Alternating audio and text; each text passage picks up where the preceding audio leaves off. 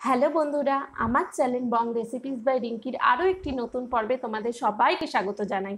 আশা করি তোমরা সবাই খুব ভালো আছো। আজকে আমি বানাতে চলেছি কাঁচা আমের চাটনি। তো চলো দেখে নিই কীভাবে আমি রেসিপিটা তৈরি করছি। তো বন্ধুরা, আমি এখানে নিয়েছি দেড়শো গ্রাম মতো কাঁচা আম লম্বা লম্বা করে কেটে। আর আড়াইশো গ্রাম নিয়েছি আমি চিনি। কয়েকটা কাজু নিয়েছি। এক কাপ পরিমাণ জল, মশলার মধ্যে আমি নিয়েছি এক স্পুন কাশ্মীরি লঙ্কার গুঁড়ো, এক স্পুন লবণ, এক টেবিল স্পুন পাঁচ ফোড়ন, একটা তেজপাতা, এক স্পুন হলুদ, এক টেবিল স্পুন ভাজা মশলা আর দুটো নিয়েছি শুকনো লঙ্কা। তো বন্ধুরা, আমি এখানে এক কাপ পরিমাণ জল নিয়ে নিলাম। জলটাকে আমি একটু গরম হতে দেব। তারপরে আমি এখানে কাঁচা আমগুলো দিয়ে দিলাম।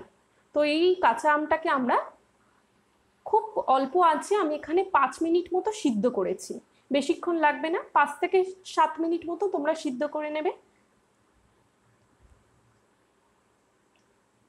সিদ্ধ হয়ে গেছে আমার আম। এবার আমি একটা প্যান নিয়ে নিয়েছি। এই প্যানের মধ্যে আমি এখানে সর্ষের তেল দেব। টু টিস্পুন মতন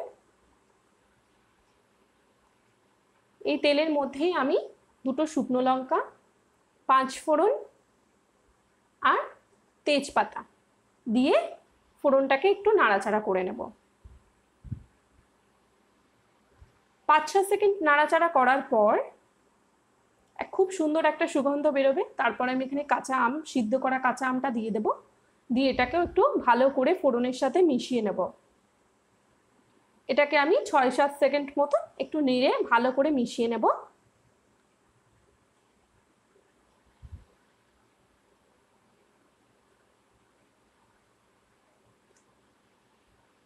তারপরে আমি এখানে লবণ,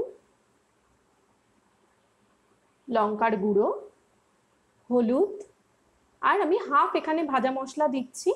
নামানোর আগে আবার বাকিটা দেব। দিয়ে এটাকে ভালো করে আর একবার নাড়াচাড়া করে নেব। তো চার পাঁচ সেকেন্ড আমি এইভাবে নাড়াচাড়া করে নিলাম।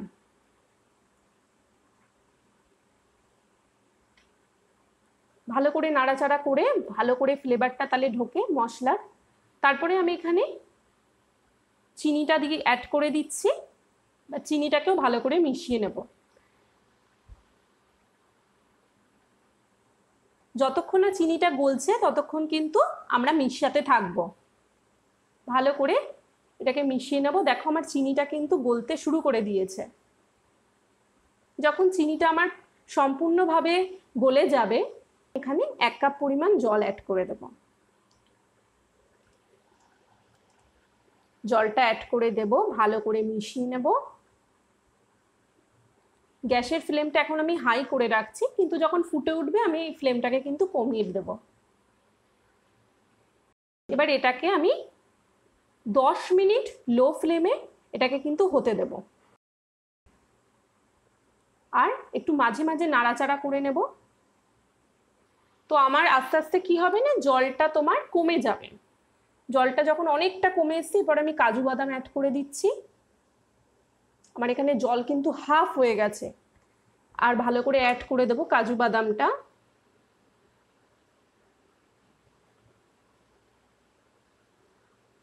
এরপরে বাকি ভাজা মশলাটাও আমি অ্যাড করে দিচ্ছি। দিয়ে আর একবার নাড়াচাড়া করে নেব। এইবারে আমি এটাকে দু মিনিট মতো হতে দেব। ভালো করে নাড়িয়ে চাড়িয়ে এটাকে আমি দু মিনিট মতো হতে দেব। দেখো দু মিনিট পর আমার কিন্তু চাটনিটা অনেক ঘন হয়ে গেছে আর জলটাও অনেকটা টেনে গেছে। অনেক ঘন হয়ে গেছে। তো এখানে আমার একদমই তৈরি হয়ে গেছে চাটনিটা। দেখতে পাচ্ছ তোমরা? এবার এটাকে আমি সার্ভ করব। তো বন্ধুরা, এবার এটাকে আমি সার্ভ করে নিচ্ছি।